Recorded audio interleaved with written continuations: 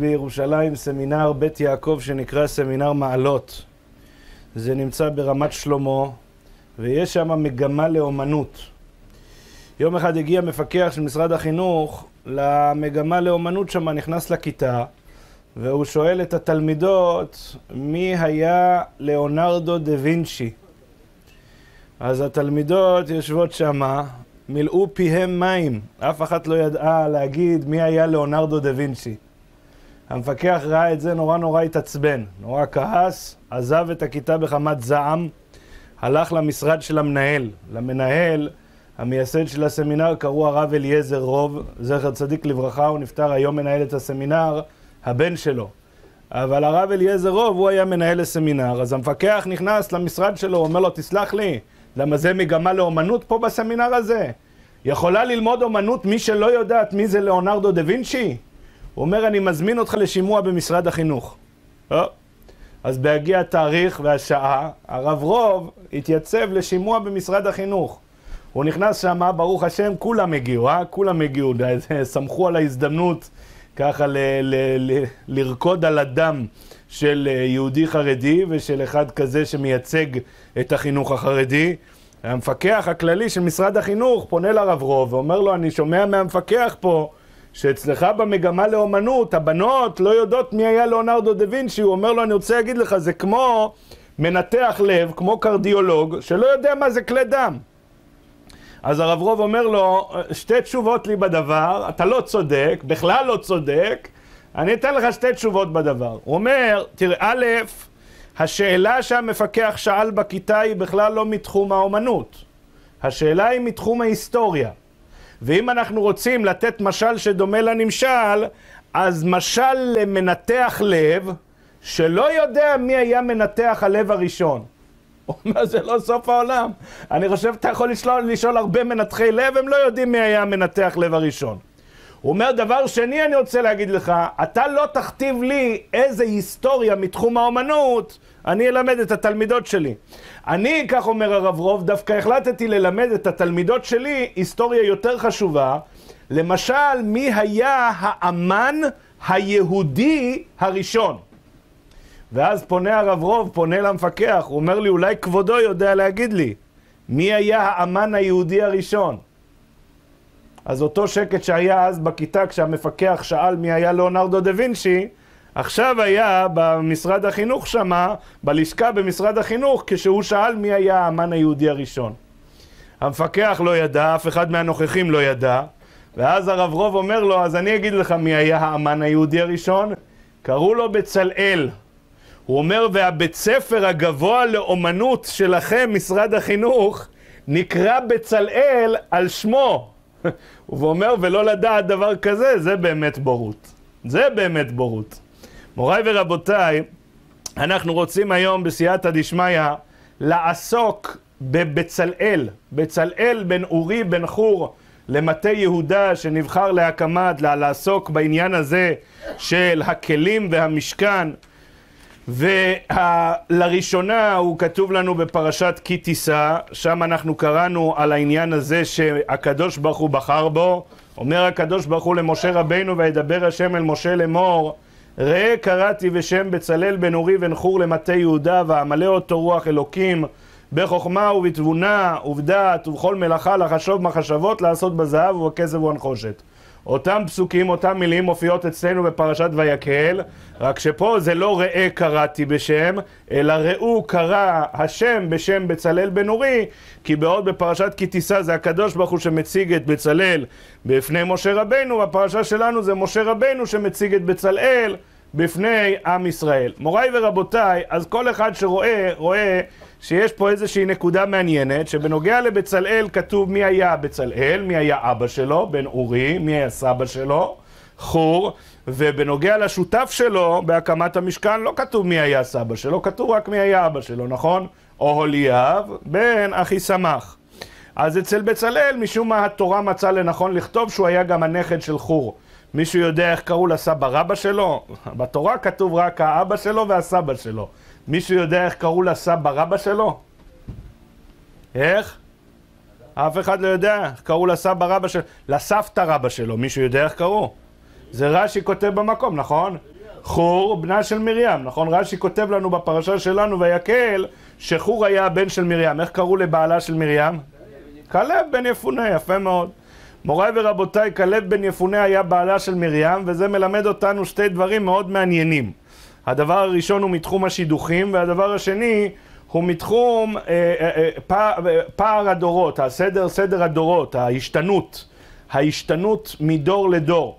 הדבר הראשון הוא מתחום השידוכים. שבת האחרונה הייתי, שהשם ישמרנו ויצילנו, הייתי עם אה, ארגון נפלא שנקרא משעול, שעוסק בבנות סמינר שסיימו את לימודיהן בסמינר, אבל עדיין לא זכו להקים את ביתן. לצערנו הרב, יש המון המון המון בנות כאלה. הייתי בשבת, זה היה ב- בים המלח, בכפר נופש ביאנקיני, על גדות ים המלח, כפר נופש ענק. המארגנת התחננה אלינו שאני אמצא מקום, אמצא סידור לכמה שיותר מהילדים שלי שלא להביא אותם יחד איתי, כי היא אמרה, הטלפונים לא מפסיקים, בנות מתחננות להגיע לשבת הזאת, והיא כבר זהו, היא כבר בתפוסה מלאה. היו שם למעלה מ-400 בנות, שהשם יזכה כל אחת מהן, בעזרת השם, להקים את ביתה כמה שיותר מהר, ולא רק אותן, אלא כל מי שזקוקה לישועה הזאת. אז זה היה, איך? ים המלח. ים המלח, כן. אז היה שם, מאיפה אתה יודע? אה, היו כמה רבנים, כמה בנות מפה היו בנות מפה, כן? אז אני הייתי שם יחד עם הרב גואל אלקריף ויחד עם הרב נחום דיאמנט, שהשם ישלח לשניהם בעזרת השם הלאה הצלחה בכל מעשי ידיהם. באמת פיות מפיקים מרגליות, והרב דיאמנט ממרום גילו, ברוך השם, עדיין עם רעננות של, אה, של אה, בחור צעיר, ככה, עד השעות הקטנות של הלילה. אז היה שם, כל הנושא היה שידוכים, שידוכים, שידוכים, על זה דיברו. אז אמרתי, מעניין, ושידוכים, אתה מוצא, אתה יכול ללמוד מהדורות הקודמים משהו על שידוכים. מוריי ורבותיי, מישהו יודע להגיד לנקודת ציון ב- ב- ב- אצל כלב, בין כמה הוא היה למשל, כשהוא נשלח אה, על ידי משה רבנו למרגלים, בין כמה הוא היה? אה, היה בן 40, מאיפה אתה יודע? זה כתוב בספר יהושע. בספר יהושע, כלב אומר ליהושע שהוא היה בן 40 כשהם נשלחו על ידי משה רבנו עם המרגלים. נו, מתי נשלחו המרגלים? כשיצאו ממצרים, נכון? יצאו ממצרים, אחרי יציאת מצרים נשלחו המרגלים, נכון? בת כמה הייתה מרים כשיצאו ממצרים? הייתה בת 86, נכון? ובעלה בן כמה היה? בן 40, יופי. אתה שומע, יש לך פערים פה, 46 שנה לפה, לפה, הכל בסדר, נכון? אם מוכנים לשמוע קצת יותר, קצת אה, להרחיב, להרחיב את הראש, להגדיל ראש, אז אפשר למצוא בפתרונות לבעיות של שידוכים. פער של 46 שנה, שהאישה הייתה יותר מבוגרת מבעלה. חוץ מזה אתה מוצא עוד דבר מאוד מעניין, כפי שמלמדת הגמרא, איך? נוח התחתן עם מה הפער של 500 שנה. היה פער של יותר, אתה אומר. עוד נקודה מעניינת, אומרת הגמרא במסכת סנהדרין בדף סט. אומרת הגמרא, בצלאל, נכון? בצלאל בן כמה היה כשהקים את המשכן? אומרת הגמרא בן 13, כי כתוב איש איש ממלאכתו ואין איש פחות מ-13, הוא היה בן 13. בגיל 13 היה לו סבא רבא, שקראו לו איך? כלב, נכון, לא, חור היה סבא שלו. אני מדבר על סבא רבא שלו, לסבא רבא שלו קראו איך? כלב. והוא, מתי השליחת המרגלים הייתה לפני הקמת המשכן או אחרי הקמת המשכן? מה זה לפני? שליחת המרגלים הייתה לפני הקמת המשכן או אחרי הקמת המשכן? אחרי הקמת המשכן, נכון? אז בשליחת המרגלים... מה, למה אתה עושה לי פרצוף כזה? שילוח המרגלים היה לפני או אחרי הקמת המשכן? אה? אחרי הקמת המשכן, יופי. בשילוח המרגלים בן כמה היה כלב? בן 40. ובהקמת המשכן כבר היה לו נין בן 13. הבנת? בהקמת המשכן כבר היה לו נין בן 13. הרב קלימי, אתה מבין? אנחנו קצת... אה, אנחנו לא בקצב. מוריי ורבותיי, אומרת הגמרא שמה, ללמד שכל אחד ואחד ילד כשהוא היה בן שמונה. ילד בן שמונה, ברוך השם, כבר היה אבא. נו, ברוך השם. אז זה יש לנו על כלב בן, על כלב בן יפונה. איך? אבל כמה הוא התחתן? אני, מה אני אעשה? הגמרא עושה את החשבון, אומרת, תעשה חשבון לבד, זה בגיל שמונה. מגיל שמונה, באותם דורות, כנראה שהיו יותר חזקים, היו כבר מגיל שמונה. איך? בין כמה הוא התחתן אני לא יודע, אבל כנראה שהוא התחתן בגיל צעיר מאוד. אם, כנראה שהוא התחתן בגיל צעיר מאוד. אם כבר בגיל 40 היה לו, היה לו נין בן 13, חייב להיות שהוא התחתן בגיל צעיר מאוד. מו, מוריי ורבותיי, מוריי ורבותיי, מי היה חור? אומר לנו רש"י חור, חור, אומר רש"י בפרשת ויקל, בנה של מרים. נשאלת השאלה, תגיד לי, למה רש"י כותב לך את זה בפרשת ויקל? למה לא בפרשת כי תישא? פרשת כי תישא כתוב, ראה קראתי בשם בצלאל בן אורי בן חור. כתוב שם חור? למה רש"י לא כותב שחור היה בנה של מרים? מה רש"י פתאום אצלנו, פרשת ויקל, אומר, אה, רגע אחד, לפני שאתה ממשיך הלאה, אתה צריך לדעת פרט היסטורי. חור היה הבן של מרים. אם זה כל כך חשוב לדעת, תכתוב לי את זה בפרשת כי תישא. השאלה המעניינת היא שאלה הפוכה בדיוק. השאלה היא גם, שאלה שנייה, רש"י משום מה חשב שאנחנו, יש לנו איזה בעיה בזיכרון. למה? כי רש"י, חוץ מפרשת כי תישא, זה המקום היחיד שחור מוזכר, ורש"י לא כותב שהוא היה הבן של מרים. בכל מקום אחר בחומש, כשאתה מזכיר את חור, כתוב שחור היה הבן של מרים. איפה זה כתוב? סוף פרשת בשלח. יש מלחמת עמלק? יופי. מה מוזכר שם? משה, אהרון וחור עלו ראש הגבעה. אתה מסתכל שם רש"י, כותב רש"י, חור, בנה של מרים. טוב? זה הפעם הראשונה, מובן. רש"י רוצה שתדע מי זה היה חור. יופי, פעם שנייה שמוזכר חור, מישהו יודע איפה זה? סוף פרשת משפטים. משה רבינו עלה לקבל את הלוחות, והוא לא יכול להשאיר את העם בלי מישהו שיפסוק להם הלכות, נכון? אז מה הוא עשה? מה הוא עשה? אמר, הנה אהרון וחור, מי בעל דברים ייגש עליהם, נכון? או, כותב לך שם רש"י, רגע, רגע, רגע, חור, חור! בנה של מרים. לא הבנתי, אבל בפרשת בשלח כבר סיפרת לי שחור הוא בנה של מרים. אבל אולי בשלח, יתרו, משפטים, אולי שכחת? אז רש"י כותב לך גם בפרשת משפטים שחור בנה של מרים. ואם מפרשת משפטים עד פרשת ויקל שכחת את זה שוב, אז רש"י בפרשת ויקל על בצלאל, בן אורי, בן חור, כותב רש"י חור, בנה של מרים. תגיד לי, למה רש"י צריך לכתוב לך שלוש פעמים באותו חומש? אותו חומש, רש"י כותב לך שלוש פעמים שחור היה הבן של... בסדר, הבנתי. מה רש"י חשב, שאנחנו כאלה, עם טווח זיכרון כזה קצר? זו שאלה מצוינת, ואת השאלה המצוינת הזאת כותב ספר נפלא בשם עיוני רש"י.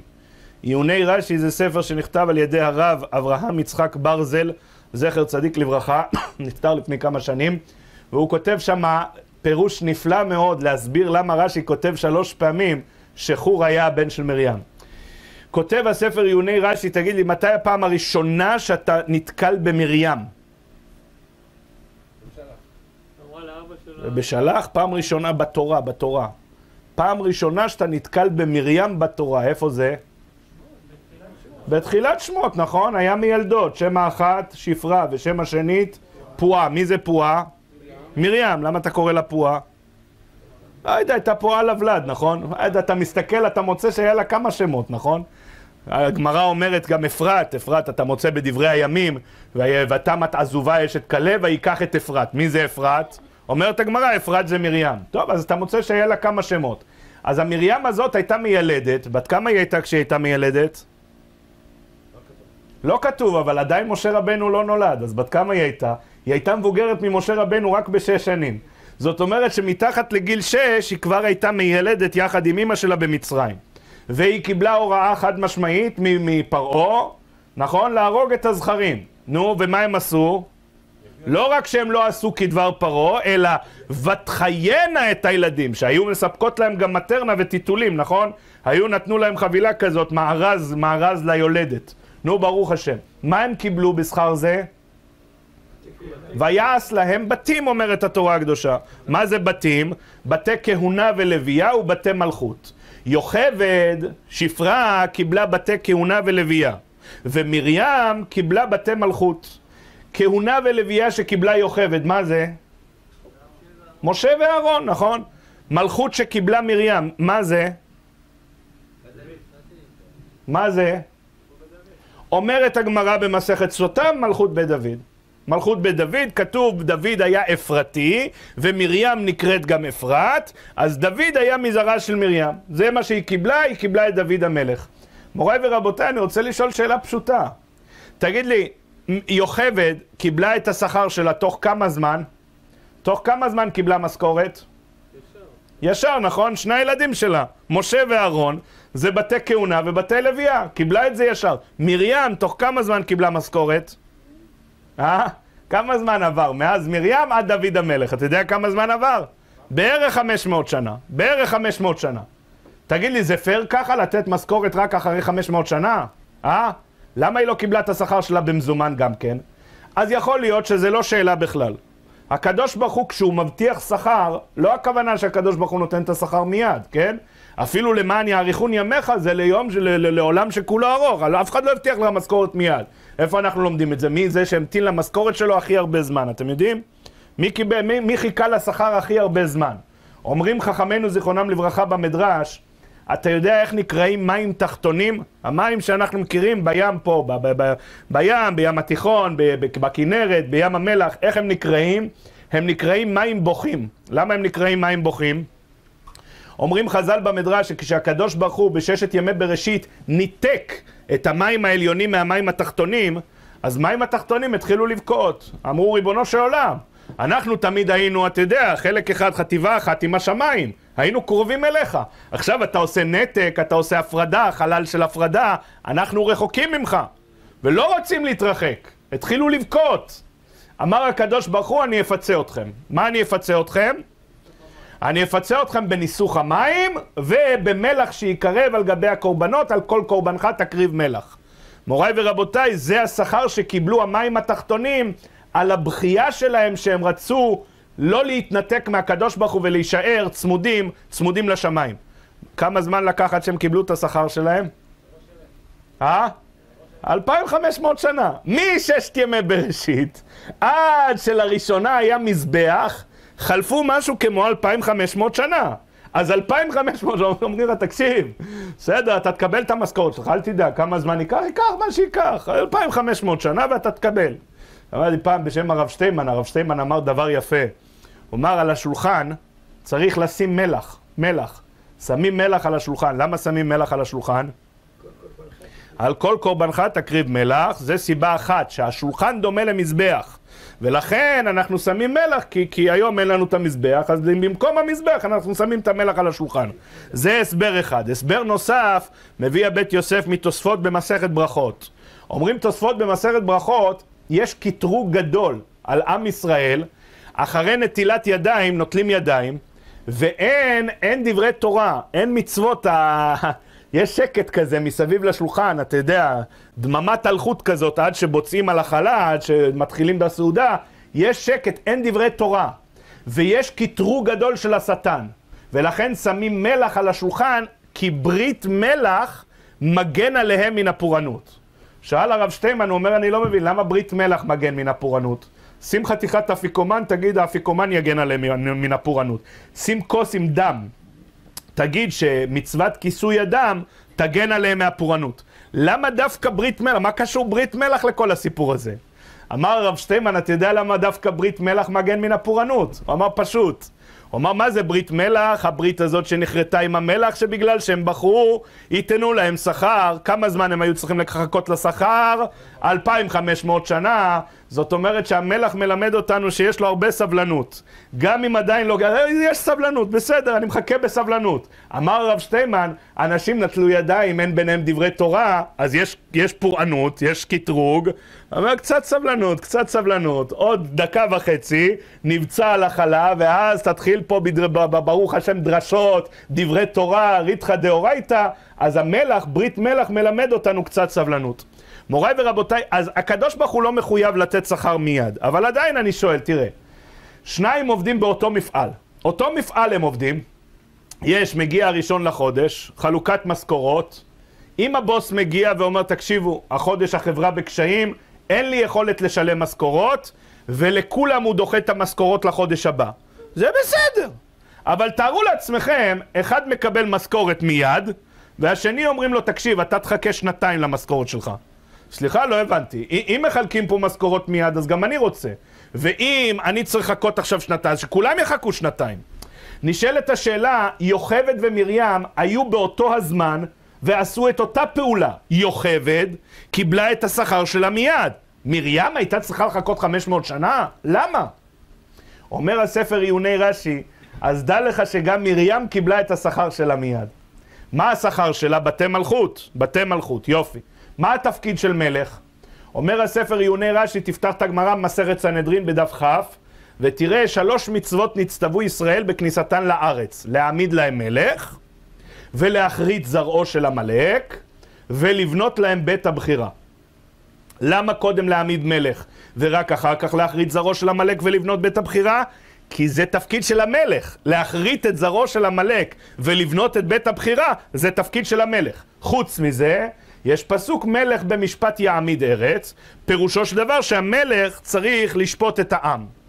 אומר הספר עיוני רש"י, איך קראו לבן של יוכבד?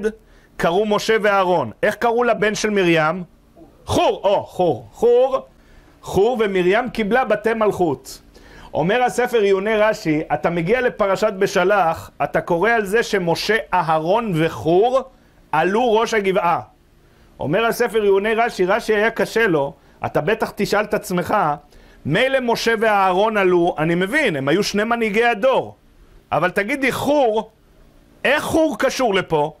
מה התשובה? כותב רש"י, חור, בנה של מרים, ומרים קיבלה בשכרה מלכות, ומה התפקיד של מלך? להחריד זרעו של עמלק. אה, יש לך פה החרטת זרעו של עמלק, אז חור הוא חלק מהסיפור.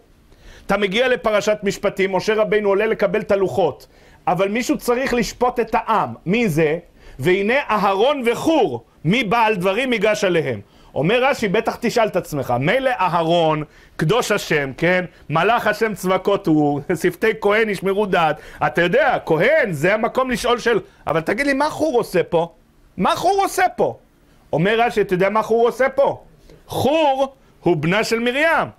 ומרים קיבלה בשכרה מלכות. וחלק מהתפקידים של מלך זה מלך במשפט, יעמיד ארץ. אז הוא צריך לשפוט את העם. אתה מגיע לפרשת ויקל, בצלאל בן אורי בן חור הוא זה שנבחר להקים את המשכן. אומר רש"י, אתה בטח תשאל את עצמך, תגיד לי למה? למה הוא ולא מישהו אחר? אומר רש"י, יודע למה? כי חור הוא בנה של מרים, ואחד מהתפקידים של מלך זה לבנות את בית הבחירה. אז לכן, מזרעה יצא העניין הזה של בצלאל, שהוא זה שיעסוק בהקמת המשכן, כך כותב הספר עיוני רש"י, וזה דבר נפלא מאוד, לכן רש"י חוזר בשלושת הפעמים, כי בשלושת המקומות זה להסביר לך למה חור נמצא פה במקום הזה, למה הוא זה שנבחר לעסוק בכל אחד מהדברים הללו. מוריי ורבותיי, עם הרעיון הזה אני רוצה להתקדם רגע הלאה. ולהבין מה שרבותינו שואלים אותנו. בסדר, הבנתי, חור היה לו זכויות גדולות. שואלים רבותינו, למה בצלאל מכולם נבחר לעסוק במלאכת הקמת המשכן? למה בצלאל?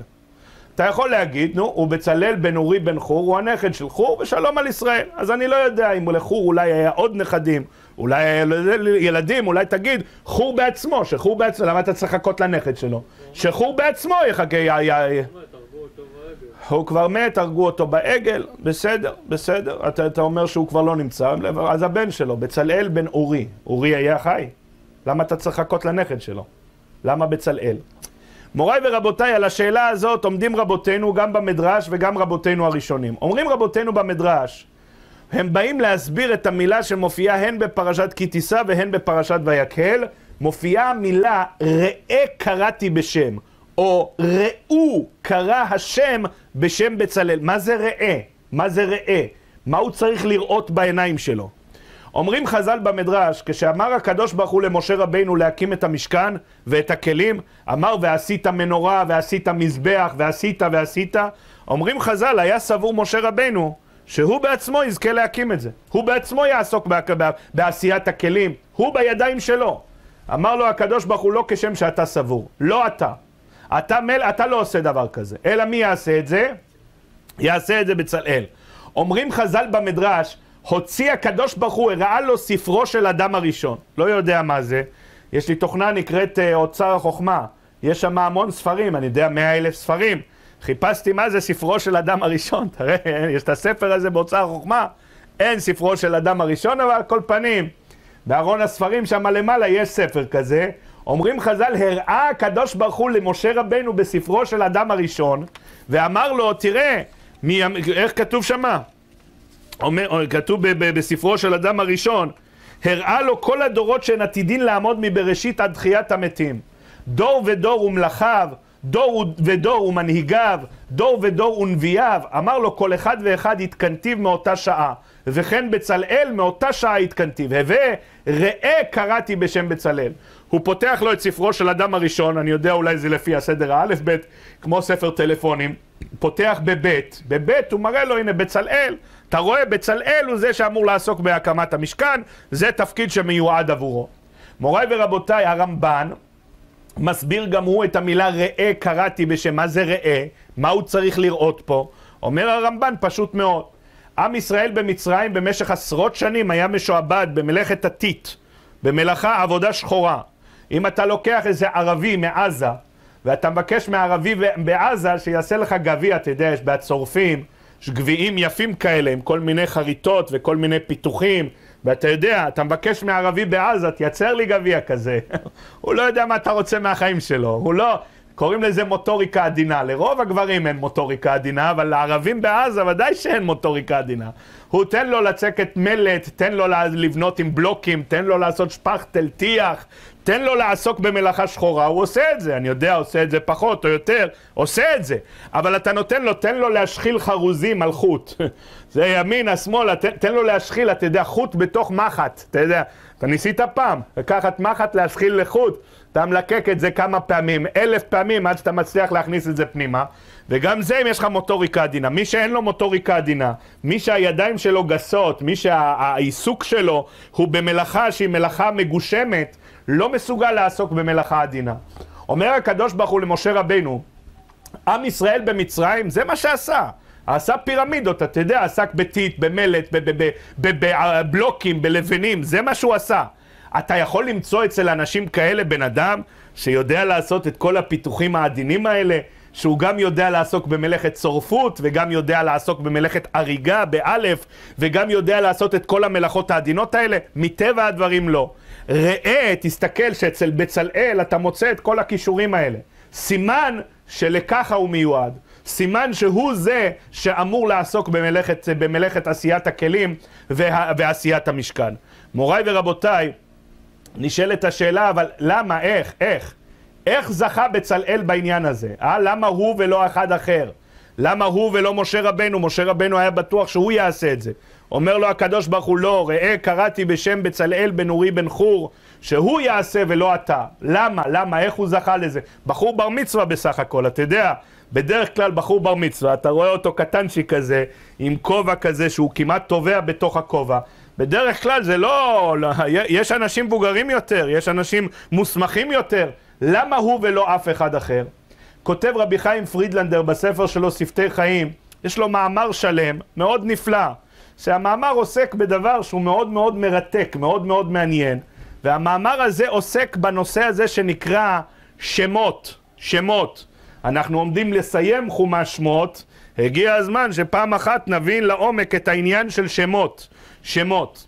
כותב רבי חיים פרידלנדר, הרי שם, אתה יודע שזה דבר מאוד מאוד uh, חשוב. איפה אתה יודע?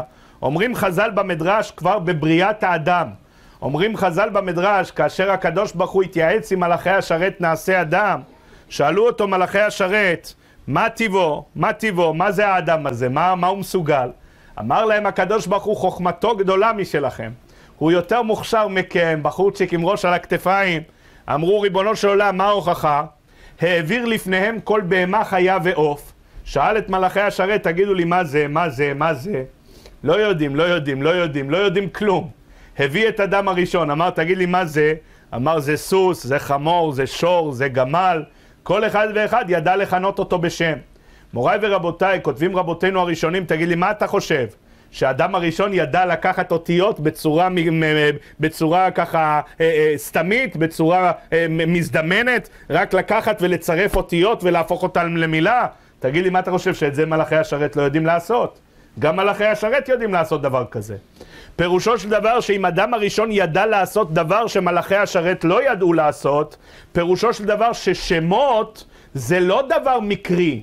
שמות זה לא דבר ככה רנדומלי, זה לא דבר שאין לו, אה, סתם לקח, לקחת אותיות ולצרף אותם למילה. כותבים רבותינו הראשונים, השם, השם של הדבר הוא כל המהות והתוכן וההגדרה של הדבר בעצמו. ותסתכלו בחוברת, ציטטתי שם את דבריו של רבנו בחייה בפרשת בראשית, שמסביר כמה מבעלי החיים. למה אריה מורכב מאלף, ריש, י' וה'? למה? הוא מסביר. למה סוס מורכב מסמך ו' סמך? הוא מסביר. כל דבר יש לו הסבר. השם של הדבר, הוא מגדיר את התוכן, את המהות שלו. כותב רש"י בתחילת חומש שמות, הרש"י הראשון בתחילת החומש, ואלה שמות בני ישראל הבאים מצרימה. אומר רש"י, אף על פי שמנען בחייהן בשמותם, חזר ומנען במיתתן. להודיע חיבתן שנמשלו לכוכבים, שמוציאן ומכניסם במספר ובשמותם, שנאמר, פסוק בספר ישעיה פרק מ', המוציא במספר צבאם לכולם בשם יקרא. כותב הרד"ק שם, על הפסוק הזה שם בספר ישעיה, כותב הרד"ק, מה הפירוש לכולם בשם יקרא? רצה לומר, כי לכל אחד מהם יקרא שם הנאות לו לפי הדבר הנברא בעבורו. זאת אומרת, לכל דבר יש שם, כי השם זה מעיד על התפקיד ועל המהות ועל התוכן של הדבר הזה בעצמו. מוריי ורבותיי, אומרת הגמרא במסכת ברכות, מנלן דשמא גרים, מי אמר שהשם באמת גורם ומעיד על פעולותיו של האדם? אומרת הגמרא, כי כתוב בספר תהילים, לכו חזו מפעלות השם, אשר שם שמות בארץ. אומרת הגמרא, אל תקרי שמות, אלא שמות. השמות האלה, השמות האלה יש להם משמעות. זה לא סתם רצף אקראי של אותיות, אלא יש לזה תוכן. לכל אחד השם שלו מעיד על התפקיד שלו, מעיד על המהות שלו, מעיד על התוכן הפנימי שלו. ידוע מפורסם מה שמספרת הגמרא, מסכת יומא בדף פג. אומרת הגמרא, שלושה תנאים קדושי עליון, רבי מאיר, רבי יהודה ורבי יוסי, הלכו בדרך, הגיעו ערב שבת, הגיעו לאיזה מקום, היו צריכים לחפש אכסניה, איפה להתאכסן, איפה, לא, איפה להעביר את השבת. יצא אליהם איזה יהודי נחמד, אומר תבואו, תבואו אליי, אני רואה שאתם מחפשים מקום, בואו אני, אני אארח אתכם אצלי בשבת. אמרו איזה צדיק, כל הכבוד לך. שואל אותו רבי מאיר, תגיד לי, מה השם שלך אדוני? אומר להם, אה, קידור, השם שלי קידור. אומר רבי מאיר, רבי מאיר אבי בדיק בשמה, היה בודק לפי השמות, ואמר הקידור הזה לא מוצא חן בעיניי, שנאמר פסוק בפרשת האזינו, קידור תהפוכות המה. קידור זה משהו הפכפך כזה, אל תסמוך עליו יותר מדי.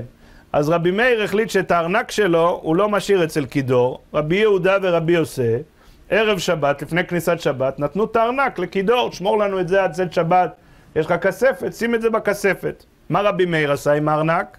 אומרת הגמרא, הלך לבית הקברות ושם את זה בקבר של אבא של קידור, מתחת לראש של הגופה של אבא של קידור. טוב, אומרת הגמרא, בליל שבת, אבא של קידור מגיע בחלום לבן שלו. אומר, הרבה זמן לא עלית אצלי לקבר, תעלה, תעלה, כדאי לך. אני אפנק אותך, אתן לך משהו טוב, יש לי מתחת לראש, ארנק מלא מזומנים, תעלה, כדאי לך לקחת את זה. אומרת הגמרא, מעניין, בבוקר מתעורר, הקידורצ'יק הזה מתעורר, פונה לרבי מאיר, אומר לו, אני רואה שאתה רב עם זקן ארוך, אולי אתה מבין גם בפתרון חלומות. אומר, מה חלמת? אומר, חלמתי, אבא שלי אומר לי, שאני אבוא אליו לקבר, יש לו בשבילי ארנק שם מתחת לראש. רבי מאיר אומר, עזוב אותך מחלומות של ליל שבת, אתה יודע, זה מגיע, אתה יודע, עם האוכל של שבת, עם הזה, עם, ה, עם הדגים, עם החריף, עם הלא יודע, בקיצור, עזוב, חלומות של ליל שבת לא שווים שום דבר. עזוב, אל תתייחס לזה. אבל רבי מאיר רץ לבית קברות בשביל לשמור שמה, שבאמת הכידור הזה לא מגיע לקחת לו את הארנק, נשאר שם עד צאת שבת, ובצאת שבת רבי מאיר לקח את הארנק שלו. מגיע שם רבי יהודה ורבי יוסי, פונים לכידור, אומרים איפה, איפה הארנק שהפקדנו אצלך? מר ארנק? על מה אתם מדברים? אמרו, מה זה על מה אנחנו מדברים? הפקדנו אצלך ארנק בערב שבת. תגיד, אתם לא מתביישים? גם אירחתי אתכם אצלי בשבת, וגם אתם באים וממציאים כל מיני המצאות? לא היו דברים מעולם. אמר להם רבי מאיר, נו מה, מה? לא בדקתם בשם שלו כדור, כדור תהפוכות המה. זה בן אדם הפכפך, איך שמחתם עליו? אמרו לו רבי יהודה ורבי יוסף, אז למה לא הזהרת אותנו? אמרת, שמות, אתה יודע, אתה צריך לחשוש. אבל מכאן ועד להזהיר גם אתכם, זה לא היה מוטל עליי. מוריי ורבותיי, אבל זה פלא פלאים, כן? אתה רואה פה, תראה מה זה. אתה חושב שהוא היה גנב? זה גנב בן גנב. תראה מה אבא שלו, כמה אנשים אתה מכיר שהמשיכו לגנוב אחרי פטירתם? זה אחרי פטירתו, הבן אדם בר מינן בקבר, מגיע לבן שלו בחלום, גנבת רק שתי ארנקים, חבל, יש לך פה עוד ארנק שלישי אצלי, בוא תגנוב גם אותו. השם ישמרנו ויצילנו. טוב, מה עושים עם הארנק של רבי מאיר, רבי יהודה ורבי יוסי? אז אומרת הגמרא, לקחו אותו שם לאיזה בית מרזח, בוא תשתה איתנו בירה, נתנו לו שם לשתות משהו, ובינתיים שמו לב שבאספם שלו יש עדשים, עדשים. אז אה, שלחו שליח לאשתו, אמרו, בעלך אמר שאת הארנקים, שאת יודעת איפה הם, הם, הם מסתתרים, תביאי לנו. והוא אמר שאם לא תאמיני, אז אנחנו ניתן לך אה, איזשהו סימן שהיום בארוחת צהריים אכלתם עדשים. אז היא אמרה, אה, נכון, נכון, אכלנו עדשים, טוב, אם אתם יודעים מה אכלנו ארוחת צהריים, הוציאה את הארנק מהמחבוא ושלחה אותם לרבי יהודה ורבי יוסי, וכשבעלה, כשכידור ראה שזה מה שעשתה אשתו, אז הוא הרג אותה, אז אתה רואה שהוא גם היה גנב, וגם היה בן גנב, וגם היה רוצח, נו. שהשם ישמרנו ויצילנו. אבל על כל פנים, אומרת הגמרא, תראה מה זה השמות, תראה מה זה. הכל היה מונח בשם שלו, כידור, כידור תהפוכות המה. אומרים חז"ל בזוהר הקדוש, הנביא שהתנבא את כל נבוא, רוב נבואות הפורענות של עם ישראל, איך קראו לו? ירמיהו. הנביא שהתנבא את רוב נבואות הנחמה, איך קראו לו? ישעיהו. אומרים חז"ל בזוהר הקדוש, מה אתה חושב שזה במקרה? זה מונח בשם שלהם. ירמיהו נקרא ירמיהו על שם ירם י"ק ו'. זאת אומרת, סילוק של השכינה. הרמה, מלשון הרמה, מלשון סילוק. ירם י"ק ו'. ישעיהו נקרא ישעיהו, מלשון ישע י"ק ו'. ישועת י"ק ו'. הכל מונח בתוך השמות, הכל נמצא בתוך השמות. אומרים חז"ל במדרש במגילת, על מגילת רות, אומרים חז"ל על מחלון וכיליון. אומרים חז"ל מחלון, אמר רבי יוחנן צריך אדם לחוש לשם.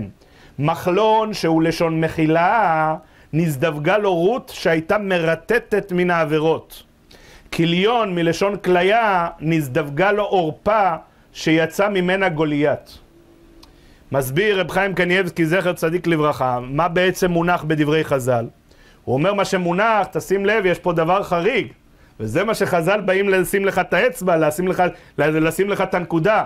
מה הדבר החריג פה? מחלון וחיליון. מי היה יותר מבוגר, מחלון או חיליון? מי אמר שמחלון? אה? הוא מופיע ראשון, אז אם הוא מופיע ראשון, הוא היה יותר מבוגר.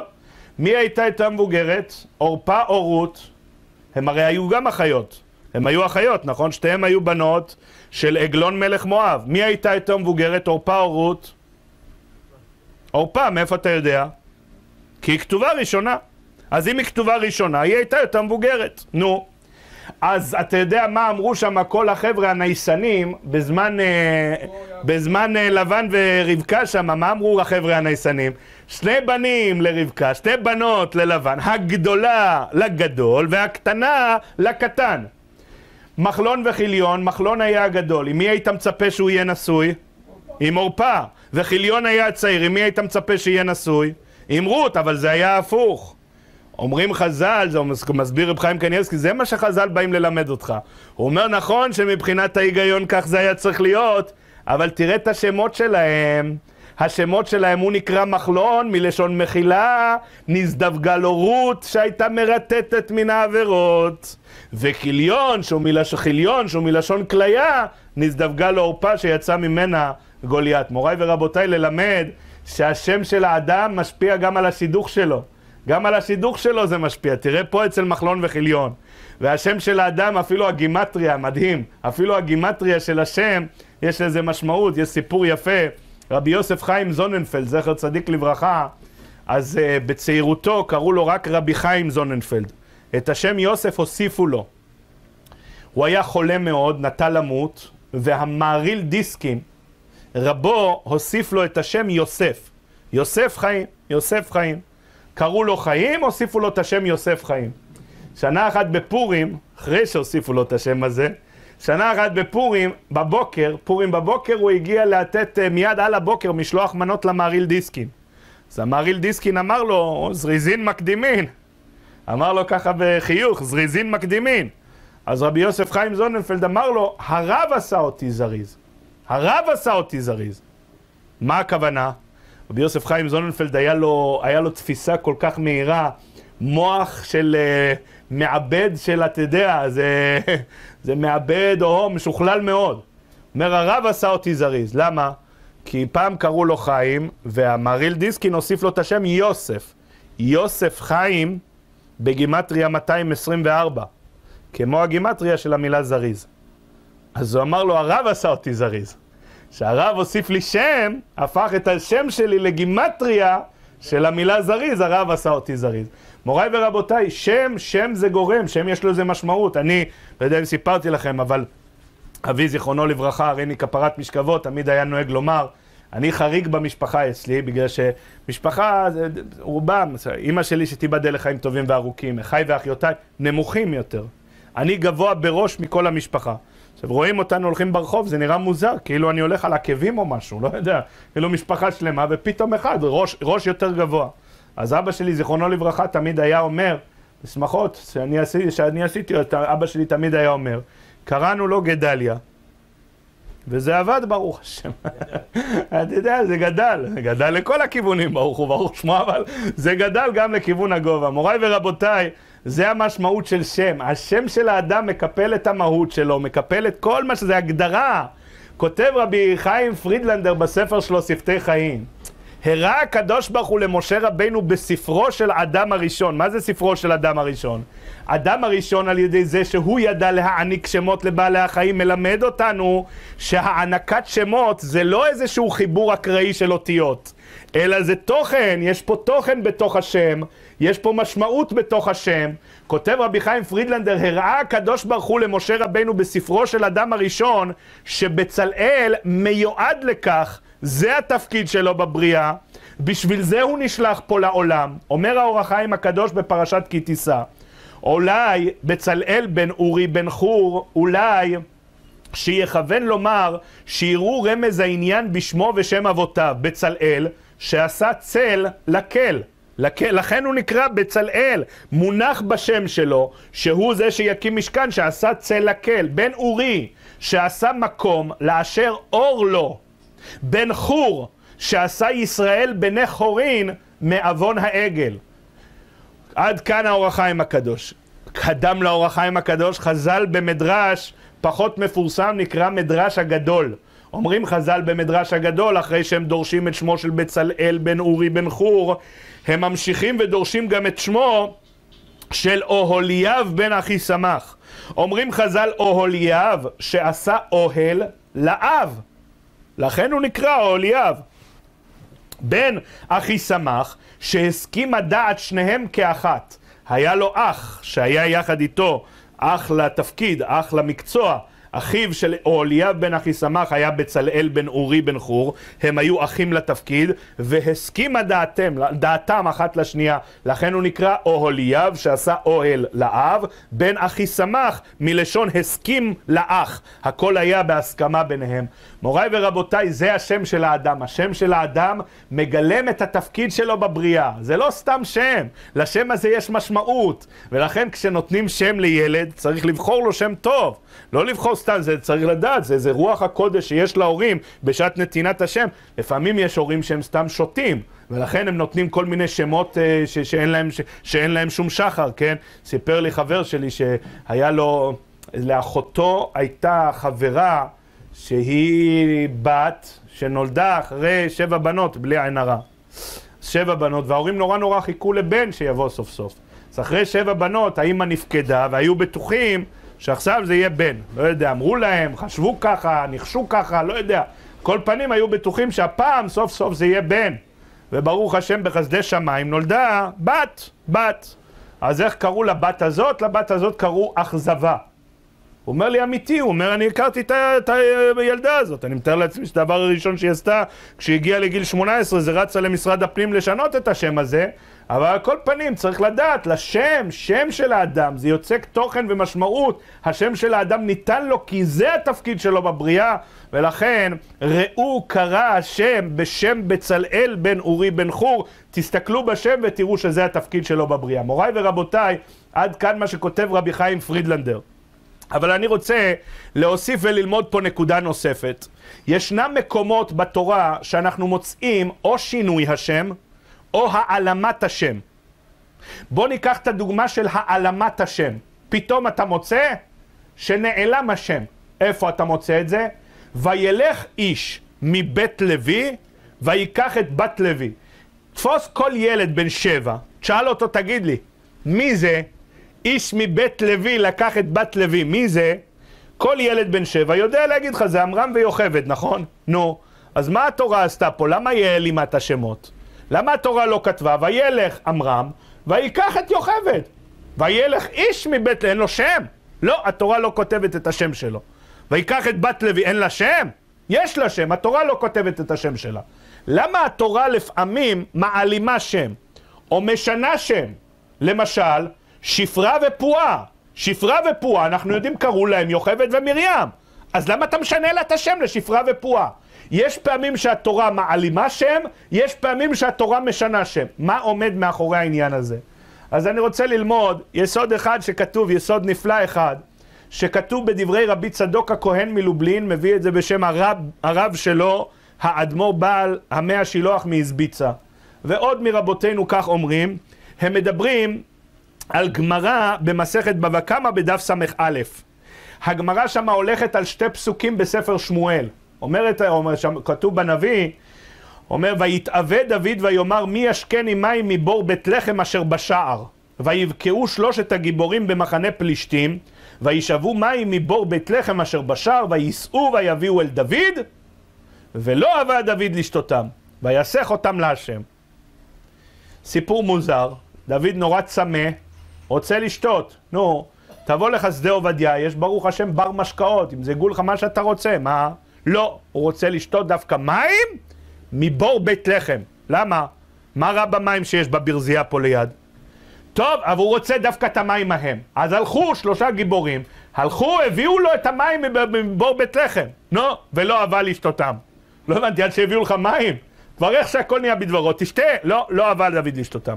הוא לא רצה לשתות. כל אחד שואל את עצמו, תגיד לי, למה הנביא צריך לספר לך סיפור כזה שדוד היה צמא, רצה לשתות, הביאו לו מים, החליט לא לשתות? מה הסיפור הזה? אומרת הגמרא במסרת בבא קמא בדף ס"ו, אומרת הגמרא שמה, סליחה, בדף ס' עמוד ב' וס"א עמוד א', אומרת הגמרא, מביאה הגמרא שלוש פירושים שונים לסיפור הזה, שהמכנה המשותף של כל שלושת הפירושים, שאין שום קשר לא למים, לא לשתייה, לא לרצון לשתות ולא לחרטה מרצון לשתות. שום קשר למים. לא היה פה מים בסיפור הזה. מה היה פה כן? אומרת הגמרא, היה שם סיפור על טמון באש. שהעבדים של דוד שרפו שם איזשהו גדיש, ובגדיש הזה היו כלים, והכלים האלה היו טמונים, ויש מחלוקת בין רבי יהודה לרבנן, האם יש חיוב על טמון באש, או אין חיוב על טמון באש, וזאת הייתה השאלה. ופשטו לו מה שפשטו לו, הלכו לסנהדרין, והביאו שם את, את הפסק הלכה, וזה מה שפשטו לו. הגמרא מנסה להביא צדדים נוספים, האם מותר לעשות כל מיני דברים שלאדם פשוט אסור לעשות, אבל אמרו לו אתה מלך, ומלך פורץ לו גדר, ואין מוחין בידו. גמרא מביאה כמה אפשרויות להסביר את הפסוקים האלה. שואלת הגמרא, מילא אם תגיד לי שפסקו לו איזה פסק הלכה מיוחד כי הוא מלך, אז אני מבין מה הכוונה ולא אבל לשתותם. הוא אמר, לא רוצה שתתייחסו אליי כאל מלך בעניין הזה, אלא אני אקיים את ההלכה שנכונה גם לאדם פשוט. שואלת הגמרא, אבל אם מה שהוא שאל זה טמון באש, על החיוב של טמון באש, ומה שפשטו לו זה פסק הלכה שאין שום חילוק אם הוא מלך או לא מלך, אז מה הכוונה ולא אהבה לשתותם? מה, הוא לא קיבל את הפסק הלכה? מה זה לא אהבה לשתותם? פשטו לו את ההלכה, הלכו לסנהדרין והביאו לו הלכה מהסנהדרין. מה זה לא אהבה לשתותם? הוא לא רצה לקיים את ההלכה? אומרת הגמרא, דלא אמרינו משמייהו, שלא אמר את ההלכה הזאת בשם אלה הגיבורים שהלכו לסנהדרין להביא לו את ההלכה. למה? אמר כך מקובלני מבית דינו של שמואל הרמתי. כל המוסר עצמו למות על דברי תורה, אין אומרים דבר הלכה משמו. מי שמוסר את עצמו למות, מי שמסכן את עצמו, על מנת להביא דבר הלכה, הם סיכנו את עצמם, הם הלכו, והלכו שם וזה, וזה היה, הדרכים היו בחזקת סכנה, והם הלכו לסנהדרין והביאו לו את ההלכה, אה, מוסר עצמו למות על דברי תורה, אין אומרים דבר הלכה בשמו. לא אמר את זה משמם. זה הכוונה לא עבד דוד לשתותם. מוריי ורבותיי, שואל רבי צדוק הכהן מלובלין, הוא אומר אני לא מבין. למה? למה? אדם לא צריך למסור נפש בשביל תורה. מה חז"ל דורשים על זאת התורה? אדם כי ימות באוהל. אין דברי תורה מתקיימים, אלא במי שממית עצמו עליהם. שואל רבי צדוק הכהן מלובלין, אז מה הכוונה פה שהוא לא, לא אמר את זה בשמם? כי כל המוסר עצמו למות על דברי תורה, אין אומרים דבר הלכה משמו, למה? כותב רבי צדוק הכהן מלובלין, אתה יודע מה זה שם? שם זה תפקיד. מה זה שם? אמרנו שם, זה המהות, זה ההגדרה של התפקיד. שם זה תפקיד של האדם. כותב רבי צדוק הכהן מלובלין, שם זה הגבלה. הגבלה. זאת אומרת, או שזה חלק מהתפקיד שלך בעולם, או שזה לא חלק מהתפקיד שלך בעולם. שם זה הגבלה. הוא אומר, אתה יודע מתי בן אדם לא מוגבל? ויכול לעשות אפילו דברים שהם לא חלק מהתפקיד שלו בעולם? מי שמוסר נפש. מסירות נפש, אפילו אם זה לא התפקיד שלך, אתה יכול לעשות את זה. וזה הכוונה, כל המוסר עצמו למות על דברי תורה, אין אומרים דבר הלכה משמו. לא אומרים את זה מהשם שלו. למה? כי השם שלו לא רלוונטי פה. השם זה תפקיד, זה מקביל, זה המהות שלך, זה התפקיד שלך בעולם. מי שמוסר נפש לא מוגבל למה שהשם שלו מייצג. מי שמוסר נפש יכול לעשות אפילו דברים שהם לא התפקיד שנשלח, שבשביל זה הוא נשלח לעולם. מוריי ורבותיי, וילך איש מבית לוי ויקח את בת לוי. אתה שואל למה לא כתוב פה עמרם ויוכבד? התשובה היא יכול להיות שזה לא היה התפקיד של עמרם ויוכבד. יכול להיות שעמרם לא נשלח לצורך כך לעולם. יכול להיות שיוכבד לא נשלחה לצורך כך לעולם. אבל הם עשו פה מהלך של מסירות נפש. אומרת הגמרא במסכת סוטה, הגיעה אליו היד הילדה שלו בת חמש, כן? עמרם גדול הדור היה, וכיוון שנגזרה גזרה עמד הוא וגירש את אשתו, עמדו כולם וגירשו את נשותיהם. באה אליו הילדה שלו בת חמש. אומרת לו, אבא, גזירתך קשה משל פרעה. הוא גזר רק על הזכרים, אתה גם על הנקבות, הוא רק בעולם הזה, אתה גם בעולם הזה, גם בעולם הבא. הוא רשע, ספק גזירתו מתקיימת, ספק אינה מתקיימת. אתה צדיק, ודאי גזירתך מתקיימת. מה אבא היה אומר לילדה שלו? ילדה, הרבה זמן לא סידרת את השיער של הבובות. תראי איך זה מפולגן, תעשי להם קוקו, וכשאת מסיימת את יכולה לקחת טופי מהארון למעלה, אחד, אל תשכחי לברך שהכל, אבל העיקר, אל תפריעי לאבא. אל תפריעי לאבא. מוריי ורבותיי, אתה יודע מה זה אביד איניש לאחזוקה בדיבורי? אדם מאוד מאוד משוחד להתמיד במה שבדעה שלו, אדם לא כל כך מהר משתנה. בפרט גדול הדור, שכל הציבור קם ועשה מעשה מחמת מה שהוא עשה. עכשיו, אתה יודע מה זה לעמוד מול כולם ולהגיד, רבותיי, טעיתי, שכולם חזרה יתחתנו. או-הו, איזה מסירות נפש זה. אומרת התורה הקדושה מסירות נפש כזאת, וילך איש מבית לוי, ויקח את בת לוי, זה לא מונח בשם שלו, זה לא קשור להגבלה של התפקיד שלו. מעשה של מסירות נפש, בן אדם יכול, אפילו אם זה לא התפקיד שלו בעולם, במסירות נפש בן אדם יכול לקפוץ מעל הגובה שלו. לא קשור לתפקיד, לא קשור להגבלה של השם שלו, ולכן לא מופיע פה שם. מוריי ורבותיי, שפרה ופועה, אתה שואל למה השתנה השם שלהם? לא הבנתי, קוראים להם יוכבד ומרים, פתאום אתה קורא להם שפרה ופועה. התשובה היא יכול להיות שיוכבד ומרים נשלחו לצורך תפקיד אחד בעולם ואין להם בתפקיד שלהם, בשם שלהם, לא מונח העניין הזה שהם עכשיו יחיו את הילדים וייתנו המשך של חיות לעם ישראל במצרים. ואתה יודע איזה מסירות נפש זה? פרעה מלך מצרים גוזר גזרה, ואלה מצפצפים עליו. אומרת התורה הקדושה, תראה, בן אדם יכול להמשיך על עצמו שם חדש, פירושו של דבר, תפקיד חדש, לא קשור לתפקיד שלשמו הוא נשלח לעולם. זה שם חדש, כי זה לא היה מונח בשם הראשון.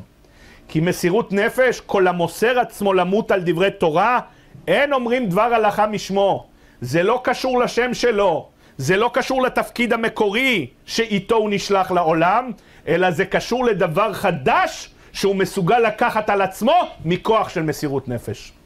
מוריי ורבותיי, אם כך, אנחנו רוצים לחזור ולראות מה הכוונה פה בעניין של פרשת כי תישא, פרשת ויקל. פרשת כי תישא נתקלנו פעם ראשונה בבצלאל בן אורי בן חור. כותב שם רש"י, ראה, קרא, ראה קראתי בשם בצלאל בן אורי. כותב שם רש"י, ראה קראתי בשם, תראה, שבשם שלו, תראה, תראה, השם שלו זה התפקיד שלו, זה התפקיד שלו. מוריי ורבותיי, זה היה התפקיד של בצלאל בן אורי בן חור. יופי. בינתיים אתה עובר לפרשת ויקל. פרשת ויקל פתאום חז"ל במדרש, ורבותינו הראשונים והאחרונים, כולם שואלים, בצלאל בן אורי בן חור, שואלים חז"ל במדרש, מה ראה חור להיזכר כאן? לא הבנתי, תשאל את זה כבר בפרשת כי תישא, כבר שמה נזכר חור. פתאום פה, פרשת ויקל, מה ראה חור להיזכר כאן? כך שואלים חז"ל במדרש. אומרים חז"ל במדרש, אה, שבחטא העגל הוא קם ו... ו, ו ועשה נגד עם ישראל, וקמו והרגו אותו, והרגו אותו. אמר לו הקדוש ברוך הוא, חייך שאני פורע לבן בנך. חייך שאני פורע לבן בנך, שיבוא בצלאל והוא זה שיקים את המשכן. מוריי ורבותיי, נשאלת השאלה, למה חז"ל אומרים את זה במדרש אצלנו בפרשת ויקל, ולא אומרים את זה כבר בפרשת כי תישא? אתה יודע מה התשובה? לכל הפחות לפי דברי הזוהר הקדוש. הזוהר הקדוש נוקט שהסדר של הפרשיות בחומש שמות נכתב כסדרו. פרשת תרומה היה הציווי להקמת המשכן, פרשת תצווה היה הציווי של כל בגדי הכהונה וכל המסתעף, פרשת כי תישא היה חטא העגל, ופרשת ויקל פקודי היה ההמשך של הקמת המשכן לאור מה שהיה בחטא העגל. אבל זוהר הקדוש נוקט שהכל כסדרו. רש"י בפרשת כי תישא כתב שזה לא כסדרו, אלא אין מוקדם ומאוחר בתורה. אבל בזוהר הקדוש כתוב שהכל כסדרו. מוריי ורבותיי, אתה שואל את עצמך למה בצלאל בן אורי בן חור נבחר להקים את המשכן, לעסוק בה בעניין של עשיית הכלים והמשכן? תלוי מתי אתה שואל את זה. אם אתה שואל את זה בפרשת כי תישא, התשובה היא זה מונח בשם שלו. ראה קראתי בשם, אומר הקדוש ברוך הוא, תסתכל בספרו של אדם הראשון, כתוב זה מונח בשם שלו. אבל אחרי שהיה כתוב את זה בפרשת כי תישא, היה חטא העגל. ואחרי חטא העגל, שנרצח שם מכור ומסר את נפשו, אתה מגיע לפרשת ויקל, אתה נמצא כבר אחרי חטא העגל. אתה שואל למה בצלאל נבחר לעסוק בעשיית המשכן? פה אתה לא צריך לומר שזה היה מונח בשם שלו. בגלל שבמסירות נפש מלמדים אותנו חז"ל, אפילו אם זה לא מונח בשם, אלא כל המוסר עצמו למות על דברי תורה, אין אומרים דבר הלכה משמו, זה לא קשור לשם שלו. מסירות נפש בן אדם יכול לעשות אפילו דברים שזה לא חלק מהתפקיד שלו. אפילו שלא לשם זה הוא נשלח לעולם. אז בפרשת ויקל עוסקים כולם במסירות נפש של חור, ולא בשם של בצלאל. השם של בצלאל רלוונטי בפרשת כי תישא. בפרשת ויקל מה שרלוונטי זה המסירות נפש של חור, ללמד אותנו שתי דברים. א', כל אחד נשלח לכאן לעולם עם שם, השם זה תפקיד, יהי רצון שנזכה להשלים את התפקיד שלנו בעולם. אבל ב', אנחנו צריכים לזכור שיש דבר שנקרא מסירות נפש, ובמסירות נפש, אפילו אם זה לא התפקיד שלך, תקראו בחוברת, יש פה סיפור נפלא. יכול להיות בן אדם שנשלח פה לעולם הזה שלא ללדת ילדים, שלא להשאיר אחריו זרע של קיימא. אבל בן אדם פועל מתוך מסירות נפש, אומר הקדוש ברוך הוא, אז השם והתפקיד המקורי לא רלוונטיים. אתה יכול להמשיך על עצמך דברים שהם לא במסגרת השם ולא במסגרת התפקיד. יעזרנו הקדוש ברוך הוא שנזכה בעזרת השם קצת קצת מסירות נפש למען שמו יתברך ובשכר זה נזכה להמשיך עלינו שפע גדול מלמעלה, אמן, כן יהי רצון.